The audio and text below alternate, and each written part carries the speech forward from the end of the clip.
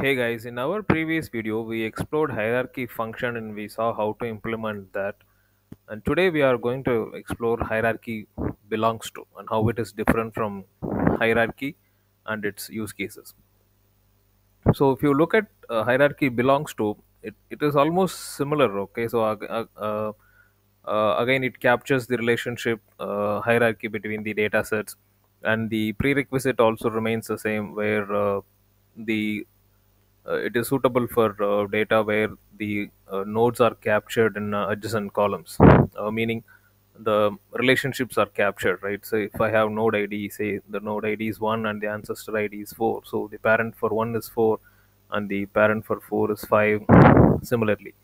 So, so any data where the relationships are captured in adjacent nodes, uh, again we can implement hierarchy belongs to, uh, same as hierarchy but then what is uh, the difference right? Uh, so when we should go for hierarchy and where hierarchy belongs to. So if you look at the uh, output of uh, these two tables okay in hierarchy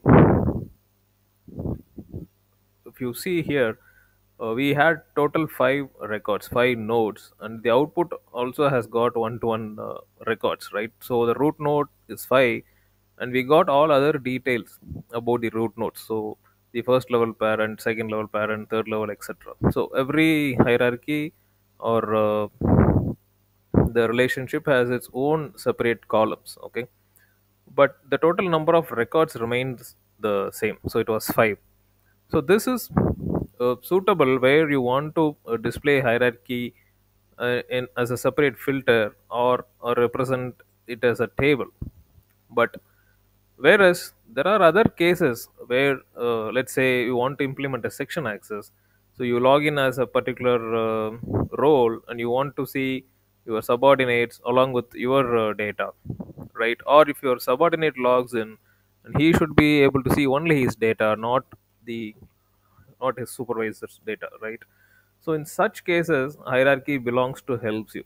If you look at the output for the same set of five records here you could see for each of the nodes there are multiple rows created. So here the table is not expanded horizontally instead it, it has expanded vertically.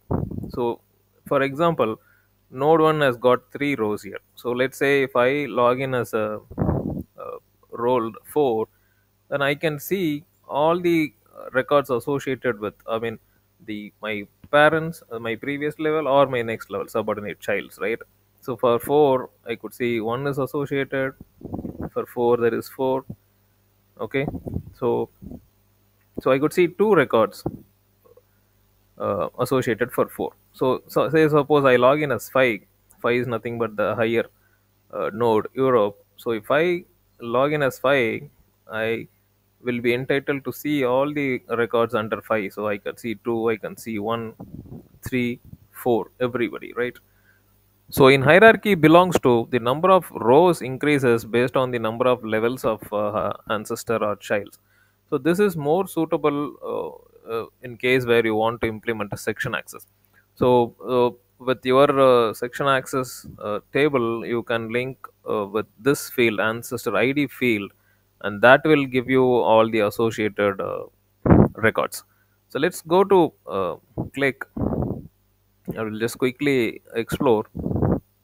So if you see here, I have this uh, inline table. So I have different roles over here. So general manager uh, being the higher level, followed by the regional manager, uh, branch manager, and department manager. Okay. So if I log in as a general manager, then I should be able to see my data along with everybody, everyone's data, right? And if I log in as a department manager, then I should see only my data. I should not. I'm not authorized to see my superior uh, supervisor's data right? And same applies for other roles as well. If a regional manager logs in then he should be entitled to see all these three not the general manager role. So in such cases hierarchy belongs to will help you. So all you have to do is implement a section access and link it with this field ancestor id field that should uh, help you out okay? So now we visualize it in the ui i could see the ancestor ids and the node ids so if I log in as a general manager, then I see all my subordinates here, right? And if I log in as a department manager, then I would see my only my data. Or if I log in as a regional manager, then I see my data along with my next two uh, subordinates, branch and department. Hope we got some basic understanding of uh, hierarchy belongs to and how to implement it in section access. Please do let me know in the comment section for any clarification. Thanks for watching.